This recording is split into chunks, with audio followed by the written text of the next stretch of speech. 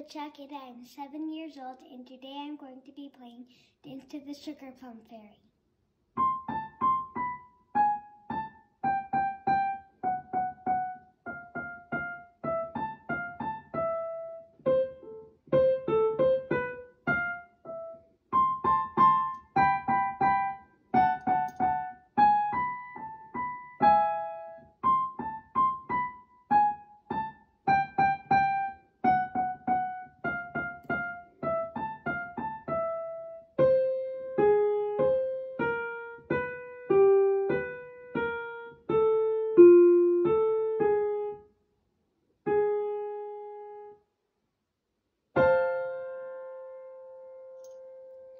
Thanks for watching.